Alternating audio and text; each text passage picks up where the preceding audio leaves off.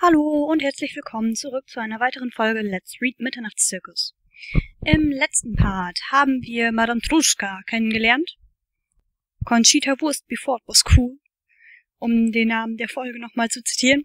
Und äh, jetzt folgt der Auftritt von Mr. Crabsley, der sehr auf sehr geheimnisvolle Weise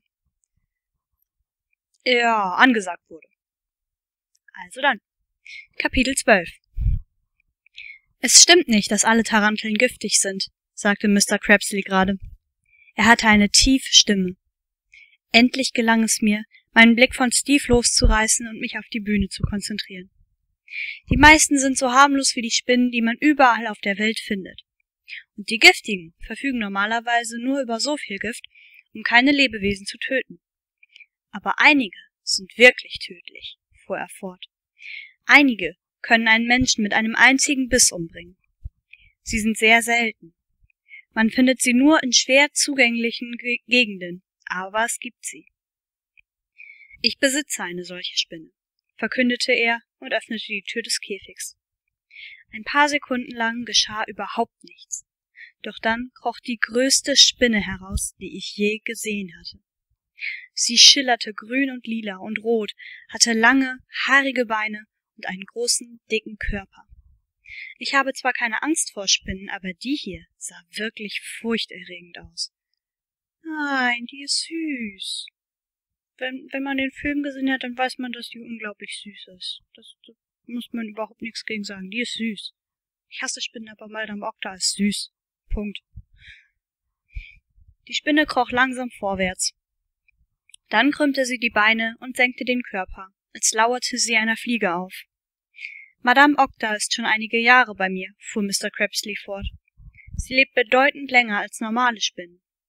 Der Mönch, der sie mir verkauft hat, meinte, sie könnte bis zu zwanzig oder dreißig Jahre alt werden.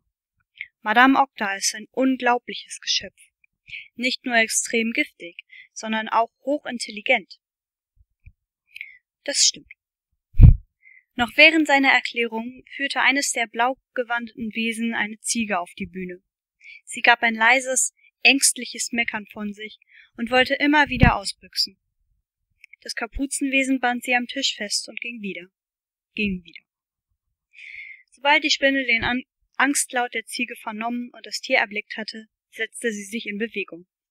Sie krabbelte zum Tischrand, wo sie stehen blieb, als wartete sie auf einen Befehl. Mr. Crabsley zog eine glänzende Metallpfeife, er nannte sie seine Flöte aus der Hosentasche und spielte eine Folge kurzer Töne. Madame Okta sprang sofort wie katapultiert durch die Luft und landete auf dem Hals der Ziege. Die Ziege machte einen Satz zur Seite und fing laut zu blöken an. Madame Okta kümmerte sich nicht darum, klammerte sich fest und kroch ein paar Zentimeter näher an den Kopf heran. Sobald sie die richtige Stelle gefunden hatte, entblößte sie ihre Giftzähne und versenkte sie tief in den Hals der Ziege. Die Ziege erstarrte und riss die Augen auf. Sie hörte auf zu blöken und fiel nach wenigen Sekunden seitlich um. Ich dachte schon, sie sei tot, bemerkte aber kurz darauf, dass sie noch atmete. Mit dieser Flöte gebe ich Madame Okta Anweisungen, erklärte Mr. Crabsley, und ich riss den Blick von der reglos am Boden liegenden Ziege los. Er hielt die Flöte über seinen Kopf und winkte damit. Obwohl wir schon lange zusammenarbeiten, ist sie beileibe kein zahmes Haustier, und würde mich mit Sicherheit töten, wenn ich die Flöte jemals verlieren würde. Die Ziege ist gelähmt, fuhr er fort. Ich habe Madame Okta so dressiert, dass sie nicht gleich beim ersten Biss tötet. Die Ziege wird auf jeden Fall sterben, denn es gibt kein Heilmittel gegen Madame Oktas Biss, aber wir wollen die Sache rasch zu Ende bringen. Er blies wieder auf der Flöte, und Madame Okta kroch den Hals der Ziege weiter hinauf, bis sie auf ihrem Ohr hockte. Erneut entblößte sie ihre Giftzähne und biss zu. Ein Zittern lief durch den Körper der Ziege, dann lag sie vollkommen still. Sie war tot. Madame Okta ließ, von der Ziege ließ sich von der Ziege herabfallen und krabbelte auf den Bühnenrand. Die Leute in der ersten Reihe wurden ausgesprochen unruhig, und einige sprangen auf. Doch nach einer kurzen Warnung von Mr. Crabsley blieben sie wie angewurzelt stehen.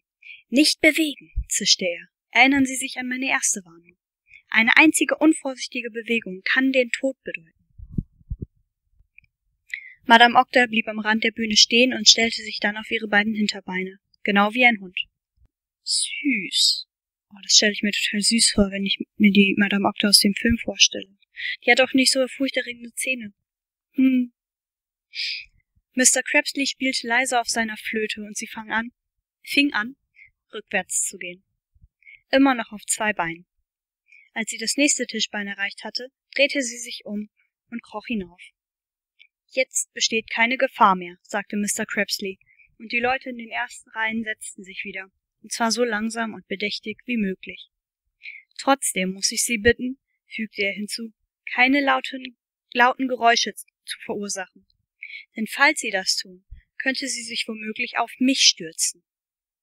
Ich weiß nicht, ob Mr. Crabsley wirklich Angst vor der Spinne hatte oder ob es nur zu seiner Nummer gehörte, aber er sah tatsächlich ziemlich ängstlich aus. Er wischte sich mit dem rechten Ärmel über die Stirn, steckte die Flöte wieder zwischen die Lippen und blies eine eigentümliche kleine Melodie.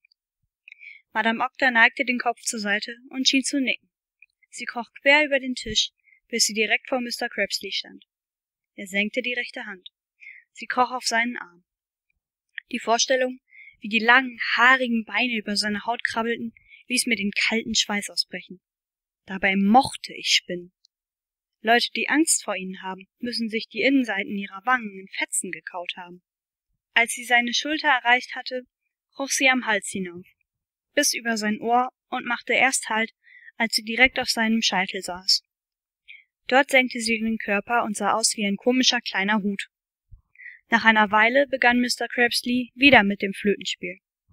Madame Octa ließ sich auf der anderen Seite seines Gesichts hinabgleiten, quer über die Narbe und spazierte überall herum, bis sie kopfüber auf seinem Kinn stand.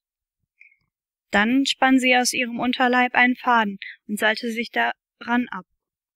Jetzt hing sie ungefähr zehn Zentimeter unterhalb von Mr. Crabsleys Kinn und fing an, langsam hin und her zu schaukeln. Es dauerte nicht lange, und sie schaukelte bis zur Höhe seiner Ohren hinauf. Sie hatte die Beine eng angelegt, und von meinem Platz aus sah sie wie ein sah sie aus wie ein Wollknäuel. Und dann, als sie gerade wieder nach oben schwang, warf Mr. Crabsley den Kopf in den Nacken, woraufhin sie steil nach oben in die Luft schoss. Der Faden riss und sie wirbelte um die eigene Achse. Ich verfolgte, wie sie hinaufflog, und ich sah zu, wie sie wieder herunterkam. Ich dachte, sie würde auf den Boden plumpsen oder auf den Tisch, aber es passierte etwas ganz anderes. Madame Octa landete in Mr. Crabsleys Mund. Mir wurde fast schlecht bei dem Gedanken, wie die Spinne ihm durch die Kehle bis in den Magen rutschte. Ich war sicher, sie würde ihn beißen und damit umbringen. Aber die Spinne war viel schlauer, als ich gedacht hatte. Noch im Fallen hatte sie die Beine ausgestreckt und sich damit auf seine Lippen, auf seine Lippen abgefangen. Mr. Crabsley neigte den Kopf nach vorn, damit wir sein Gesicht sehen konnten.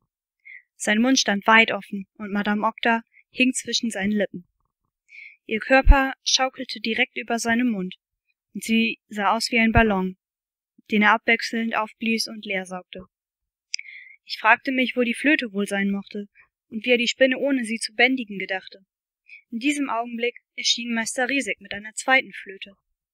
Er konnte nicht so gut spielen wie Mr. Crabsley, aber er schien zu, es schien zu reichen, um Madame, Octa, Madame Octas Aufmerksamkeit auf sich zu lenken. Sie lauschte und bewegte sich dann von Mr. Crabsleys einem Mundwinkel zum anderen. Zuerst wunderte ich mich, was sie da machte, und reckte den Hals, um besser sehen zu können. Aber als ich die kleinen weißen Fäden auf Mr. Crabsleys Lippen erblickte, wusste ich es. Sie spann ein Netz. Als sie damit fertig war, ließ sie sich von seinem Kinn herunter, genau wie zuvor. Quer über Mr. Crabsleys Mund war jetzt ein großes Netz gespannt.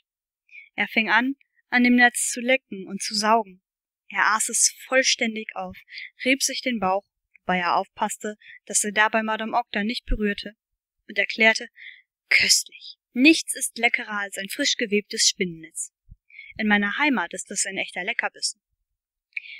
Danach ließ er Madame Octa einen Ball über den Tisch schieben und brachte sie dazu, darauf zu balancieren. Er stellte kleine Sportgeräte auf, winzige Gewichte, Seile und Ringe und ließ sie das ganze Programm durchexerzieren. Sie konnte all das, was auch ein Mensch konnte. Sie konnte Gewichte über den Kopf wuchten, an Seilen hinaufklettern und sich an Ringen emporstemmen. Nun deckte Mr. Crabsley den Tisch mit einem winzigen Service. Es bestand aus kleinen Tellern, kleinen Messern und Gabeln und winzigen Gläsern. Auf die Teller häufte er tote Fliegen und andere kleine Insekten. Was in den Gläsern war, weiß ich nicht. Madame Octa verzehrte ihr Abendessen so gesittet, wie man es sich nur vorstellen kann. Sie konnte die Messer und die Gabeln aufnehmen, immer vier gleichzeitig und damit essen. Es gab sogar einen kleinen Salzstreuer, den sie über die Teller führte und schüttelte. Ungefähr ab dem Moment, als sie aus dem Glas trank, stand meine Meinung fest, dass Madame Octa das erstaunlichste Haustier auf der ganzen Welt war. Für sie hätte ich alles gegeben, was ich besaß. Ich wusste, dass es unmöglich war, denn selbst wenn ich sie kaufen könnte, würden Mama und Papa mir nie erlauben, sie zu behalten. Aber das tat meinem Wunsch keinen Abbruch. Als die Nummer vorbei war, setzte Mr. Crabsley die Spinne wieder in ihren Käfig und verneigte sich tief. Alle spendeten überschwänglichen Beifall. Ich hörte mehrere Leute sagen, es sei nicht in Ordnung, die arme Ziege zu töten, aber immerhin sei es höchst aufregend gewesen. Ich drehte mich zu Steve um, weil ich ihm sagen wollte, wie toll ich die Spinne fand, aber er starrte immer noch wie gebannt Mr. Crabsley an. Zwar sah er jetzt nicht mehr ganz so verstört aus, aber auch nicht normal. An dieser Stelle möchte ich nochmal auf Mr. Crabsleys Performance an sich eingehen. Nämlich wurde die im Film bei weitem nicht so ernst dargestellt wie hier. Ich meine, zum Schluss hin hat die Spinne ja auch Kunststücke gemacht und keine Ahnung, Unterhaltung halt. Aber ähm, im Film wirkte sie nicht ganz so bedrohlich. Sie wurde auch als sehr gefährlich dargestellt und es wurde den Menschen gesagt, besser nicht bewegen, bla bla und so weiter, aber das ist hier trotzdem weitaus bedrohlicher. Was ich recht interessant finde. Außerdem ist im Film Meister Riesig nicht zu Hilfe geeilt, quasi, mit einer zweiten Flöte. Das kam im Film nicht vor. Und Mr. Crabsley konnte sie quasi auch ohne Flöte ein bisschen zumindest kontrollieren. Also, er hat sie auch, bei ihm saß sie auch auf dem Mund drauf, aber das, ja, brauchte er keine Flöte für, um sie da wieder runterzukriegen. Ohne dabei selbst in Gefahr zu sein, quasi. So, als Fun Fact. Was ist denn los mit dir, Steve? fragte ich. Keine Antwort. Steve? Sch, fauchte er und gab kein Wort mehr von sich, bis Mr. Crabsley die Bühne verließ. Er schaute dem merkwürdig aussehenden Mann nach, bis er hinter den seitlichen Vorhängen verschwunden war. Dann wandte er sich zu mir und keuchte, das ist unglaublich. Die Spinne? fragte ich. Sie war fantastisch. Was meinst du? Wie macht er? Ich spreche nicht von der Spinne, schnauzte er mich an. Er interessiert sich schon für seinen blöden alten Achtfüßler. Ich rede von Mr. Crabsley. Er zögerte kurz, bevor er den Namen des Mannes aussprach, als hätte er ihn beinahe anders genannt. Mr. Crabsley? fragte ich verdutzt. Was war denn so Tolles an ihm? Er hat doch nur Flöte gespielt, das war alles. Du kapierst das nicht, sagte Steve wütend. Du weißt nicht, wer er in Wirklichkeit ist. Du vielleicht? Allerdings, murmelte er. Ich weiß es tatsächlich. Er rieb sich das Kinn und sah schon wieder beunruhigt aus. Ich hoffe nur, dass er nicht weiß, dass ich es weiß.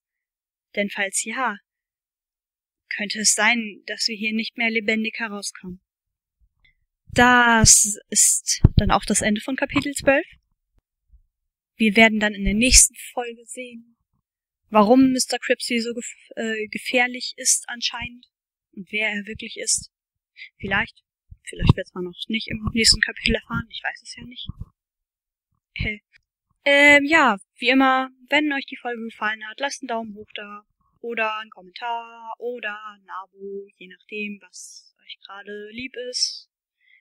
Ähm, und dann würde ich sagen, sehen wir uns vielleicht beim nächsten Part wieder. Ciao.